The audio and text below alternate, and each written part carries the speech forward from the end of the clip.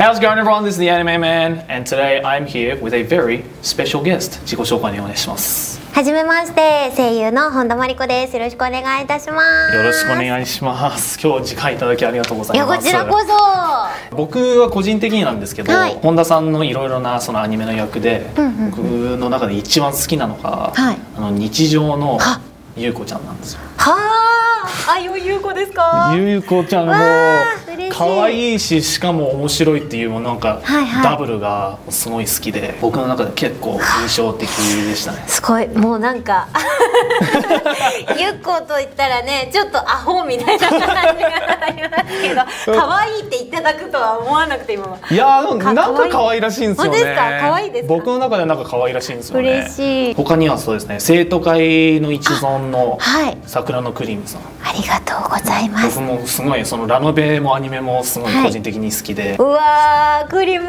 懐かしいもう本当 なんかに今喋ってる声がもうそのままで結構なんかちょっとビビってるんですけど自分の中で。私多分声は地声はゆっこに近いと思うんですけど。そうなんですよね。だからちょっと ちょっとクリームも入ってるんですよ。あとはそうですね。まあ最近ですと、はい。あの石族レビュアーズのあはいはいはい。ちょっとあのちょっとうんみたいな感じの作品ですよね。なんか伝わります？う。んみちょっとちょっとショックっていうか。衝撃の衝撃的な。作品ですよね。そうなんですよね。あとちょっとはい。初めに言いたいのが、はい。実は僕と本田さんってはいはい。同じ作品に出てるんですよ。え？え？え？え？知ってました？え？ゲームなんですけど、はい。 No Straight Roads っていう。え？いやえ？え？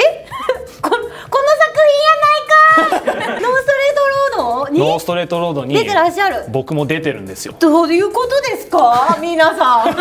実はですね僕のキャラクターはもう本当にもうそのままででミュージックエリート主義者の役で、まあ、いろんな音楽を知っているキはいはいはいはい。ャラクターなんですよ。ああいつですね。あのちょっと四角いそうそうなんかこう。結構近く、もう見た目ももろ僕なんですよね。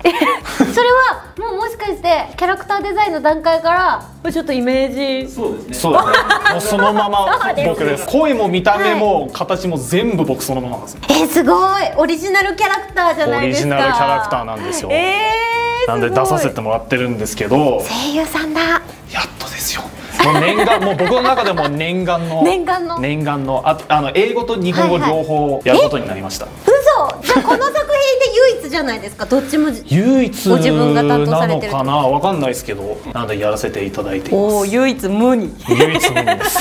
見ている視聴者さんの方に、もしかしたらノーストレートローズって何なのかわからないっていう方もいると思いますので本田さん役のキャラクターと、あとはもう簡潔にそのゲームの内容とかって説明できますかね、ノーストレートロードは本当にめちゃくちゃおしゃれデザインがおしゃれ。もうこれすごい推したくて初めてパッケージ見た時からおしゃれって思ったし キャラクターデザインをなんか私いっぱい見せていただいたんですね。自分のキャラクターもだったんですけど他のキャラクターのデザインも見せていただいてえこれがゲームになるの？と思ってなんか絵画のようって言ってました最初。音楽にベースするアクションゲーム？だからうん。なんですかね。今までにない感じの操作性でめちゃくちゃ新鮮でした。私の演じるあのーキャラクターはイブという女性なんですけれども本当にこのイブもさっき言ったおしゃれ。本当に。超ド派手ですそうよね。あれそうなんですよ。デザインがこれはえみたいな。彼女自身もすごいあの個性を持ったアーティストであの性格もね一匹狼でもあれトリッキーな性格をしているので多分誰も寄せつけないもうオーラを放っているキャラクターこのキャラクターに演じるにあたっての、はいなんか工夫したエピソードとかってありますか？あーなんか私最初そのデザインを見せていただいてこういう風にやろうって思ったその声がもっとなんかドスが効いた感じの低いイメージ。おであの強い女だなっていうイメージがあったのでもうとにかくこうこ濃く重くっていう あのお芝居をしたんですよ。そう最初やった時は、はい。だから「哀れだわ哀れね」みたいな感じのちょっと重い感じでやったんですよ。なんかゾクゾクするなんかみたいな。怖い怖い。ちょっとボスっていうイメージはいはいを強くしたら、なんかもうちょっと軽くって言われて「哀れね本当に哀れ」みたいなー。こう軽い方向になりました。いやなんかそのワンフレーズだけどなんかすごい 威圧感を感じる。本当ですか？でもなんか私も最終的に軽い方向になってよかったなって思ってやっぱなんかすごく女性的な色気とかも出た感じがしますしいやなんかみんなで作り上げたなって感じします。本田さんって、うんうん。まあ多分個人個人でいろいろな業界の入り方したと思うんですけど、うん。本田さん個人的にはその声優になろうっていうきっかけと、まあ、どうやって入ったのかっていうのをちょっとお聞きしたいんですけど、はい。多分海外の方ってうん。なかなかアニメとかゲームの声優さんってどうやって業界に入るんだろうって多分知らない人がいっぱいいると思うんですよね。なのでその本田さんの方からはい。どうやってこの声優業界に入ったのかをちょっとまあ簡潔に。簡潔に。まあ、まあ、まあ、なるべくなるべく簡潔に。私もともと本当にオタクで、はい。アニメも漫画もゲームも大好きで、はなんかそれを仕事にするっていう気持ちはなくって声優さんになろうって思ったのは結構遅いんですよ。高校2年生の時かな。それまではずっとあの保母さんを目指していて保育士さん。はいはいはい。ママさんになる子供大好きってやってたんですけどなんか急に子供を全ての子供を愛せないって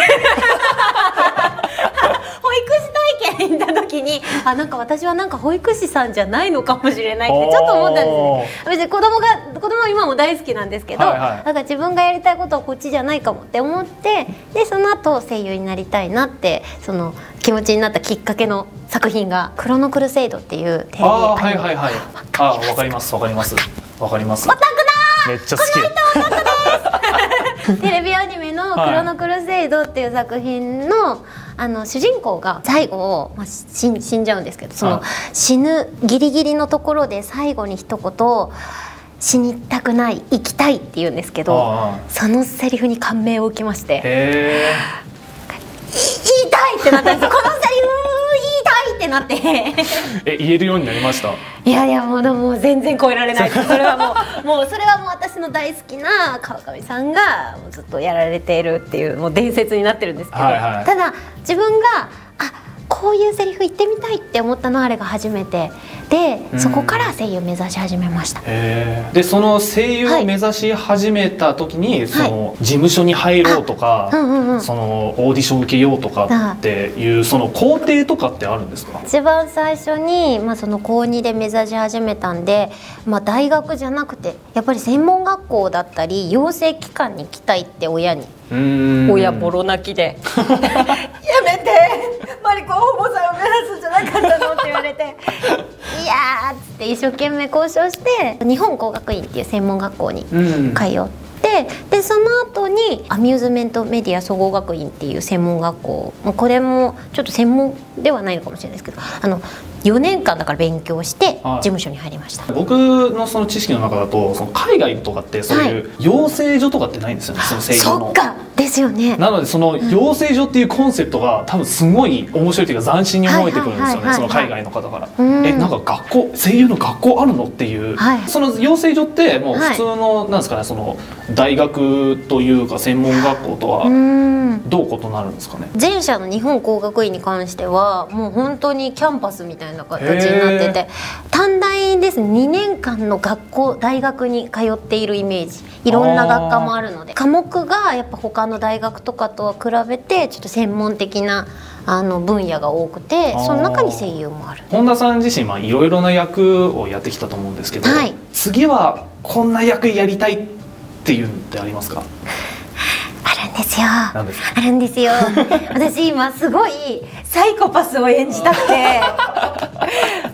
なんでしょう昔はね可愛い役やりたいとかうん。もうなんかそういうのを経て最終的に一周回ってもうとにかくサイコサイコパスを やらせてください。えそのサイコパス役とかってまだなんですか？まだなんかゲームとかこうほんと単発では、うん。本当にやばいなみたいなちょっともうね言葉にはでき形容してはいけないなんかその 判件にひなんか引っかかりそうなこうね役いっぱいある。そんなやばいんですか？アニメであったりとかなんか長く関わるような役であうん。んまりそういうサイコパスっていう役はやらせていただいてないのでなんかサイコパスみたいな笑い声とかってすごい得意ですちょっとやってもらってもいいですか？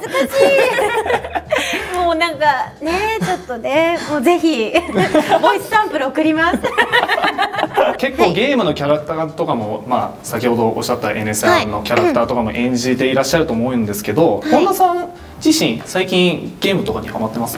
ゲームハマってます。えどれにハマってます？ずっとテンション高くてすいません。大丈夫ですよ。今はもう任天堂様に本当にお世話になって 任天堂様がいなければ私はもうこの期間を乗り越えられなかったのではないかと思うぐらい任天堂様に。もしかしてあつ森ですか？ええ。タイミング良すぎますよね本当に。天才だと思いました本本当に天才的このタイミングで任天堂はあつ森を出すいや僕も今ずっとハマってるんですよ。やってます？もう毎日やってます。もう,、ね、もう日課のようにやってます。なんだろう？あ飽きないんですよね。飽きないんですよね。とはい。にかくもういろんなことができるんですよ。うんうんうん。島をまさか改造できるなんて思いもしなかった。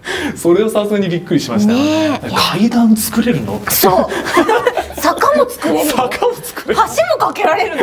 いやーめちゃくちゃ面白いですよね。本当に楽しくてあつ森をもう毎日ひたすら。なんか決まった時間とかにみんなに朝朝の挨拶？そうああいいですよ島ねの子たちにするのでもう楽しいですす他にゲームとかやってます？あつ森以外がいやもう本当に任天堂様にお世話になってるんですけれどもスプラトゥー。ン2おおそしてリングフィットにお世話になっております。この3つをですねえっとコンスタントにやっております。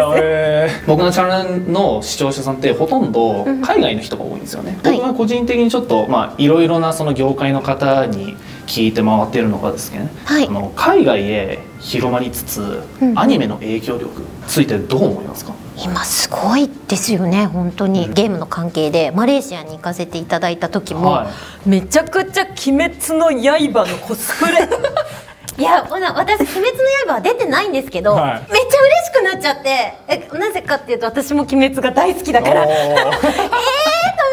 本田さんコスプレとか興味あります？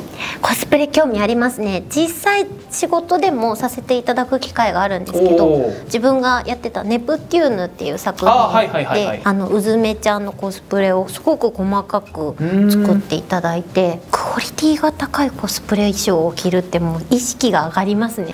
ちょっとビビりますよね。ビビりますビビります。や破けちゃったらどうしようとか。ここは丁重にみたいな皆さん本当にクオリティの高いコスプレを、まあ、日本だけじゃなくて海外の方もいっぱい作られてるからうん。感動しますので日本のアニメをこんなに好きになってくれるのがものすごく嬉しいです。個人的に行ってみたい国とかってあります？うーん悩むところなんですけどギリシャのあの三三なんだっけなんかあの青い青い島。青い島。結婚式の後みんなが行くやつ ギリシャの青い島島って検索してください皆さん。すいません。僕も今回その NSR の,、はい。あの声優で出させてもらったんですけど僕も実はまあ個人的にちょっと声優目指したいなっていう部分があるんですよ。え言葉で、いやーできれば両方いいっすけどね。ああでもまあ。だって日本語ペラペラですもんね。何の違和感もなく日本人ですよね。あありがとうございます。お顔は日本人じゃないけど。そうなんですよ。日本でずっと暮らして。いや僕は今年で4年目ですね。4年でこんなできるわけない。おかしい。何かを注入しましたね。いやチート母親が母親が日本人なんですよ見た目からだとそのハーフっていう認識がなかなかないんですよねうん僕な確かに。なぜか。もうちょっと向こうの方が強いですだと思うんですよね、うん。でも日本語自体はもうほとんど独学で。独学なのにこんななんかフランクな日本語なんですね。めちゃくちゃ頑張りました。なのでまあその英語ももちろん日本語でもちょっと声優目指したいなっていう、まあ、僕の個人的な夢とかあるんですけど、うん。まあ言っちゃえばもうプロの声優さんもうプロ中のプロの声優さんでもから。声優デビューされてる。いやでも このキャリアに比べるとまだまだです。なのでまあ本田さんからその声優を目指している、まあはい。僕、まあそしてもちろんその見てる視聴者さんの方にも、もしかしたら僕私も声優やってみたいっていう方がいるかもしれないんで、はいはい。まあ、その方たちに、まあ、本田さん個人的にアドバイスとかってありますかね？意識というかこう気持ちだと思うんですよ。なんか 例えば声優ので、えね、勉強を自分であのこういう喋り方したらいいかなとか、あの練習したりする時もあんまり私はあの専門学校通ってる時それをやらなきゃって思ったことなくって。えってってずっとやってた感じです。そうですよね。だから気づいたら夜みんなでやばい。みたいななんていうかこう芝居をするとかそのそれについて考えたり掛け合いの練習をしたりとか、うん。自分でやっていることがとても楽しくてうん。それを頑張らなきゃやらなきゃって思っているとなかなか難しいかもしれないですね。やりたいからやるっていう。なんだかんだやっぱり情熱がないとやっていけないですよね。ね。うんなるほど。貴重なアドバイスありがとうございます。いいえこちらこそ。でももうもうだってこんなにね日本語お上手でもういろんなねこういうお仕事もされてるから行動力はあると見ました。行動力だけは自信あります。それならもう絶対大丈夫 行動力があれば人間はなんとかなるのだ。では最後に、はい。えー何かこの海外のファンの方々にメッセージがあればはい。お願いします。ノーストレートロード。本当にですねあのー先ほども言いましたけれどもめちゃくちゃデザインおしゃれで。それで今までにない操作性のプレイができるゲームだと思います。えめちゃくちゃですね。めちゃくちゃ私すごい口癖で言っちゃうごめんなさい 私のキャラクターもあの今まだ言えない内容ですごくこう心の中にね秘めたいろんなお話があるのでそういうのも、えー私のイブのキャラクターも追いかけてもらえたら嬉しいなと思います、えーぜひぜひプレイしてみてくださいありがとうございました。本田真理子さんのインタビューでした。ありがとうございましたあ。りがとうございました Hey guys, thanks for watching that interview. I hope you guys enjoyed it. Big shout out to Honda Mariko and the folks over at Metronomics, who of course is responsible for the up and coming game that myself and Honda Mariko are going to be part of, No Straight Roads. As you probably heard in the interview and I've said many times on my social media, I'm going to be cameoing in this game as Joey the music elitist. How appropriate. And again, as I mentioned, I'm going to be voicing this character in both English and Japanese, so whichever version of the game you decide to play, you'll be able to hear your boy's sweet voice. But if you would like to know more information about No Straight Rose game, then I'll leave the link to their website down in the description below, so I highly implore you to check it out. I am personally super freaking excited for this game, and I can't wait to play it. I might even stream it for you guys over on my Twitch. We'll see how it goes. If you guys enjoyed this interview, then I've also done plenty of other interviews with all sorts of different people in the anime, manga, and otaku industry, and I'll leave a few of my favorites down in the description below as well if you'd like to check that out. And I guess let me know down in the comments below if you learned something new from this interview, what was your favorite part of the interview, and hey, if you would like to see me do another interview with a voice actor, someone in the anime industry, manga industry, let me know who would you like to see on this channel. But either way, guys, hope you enjoyed this video, and I'll see you in the next one. Like and favorite if you enjoyed, subscribe for more anime banter, keep watching anime. Johnny!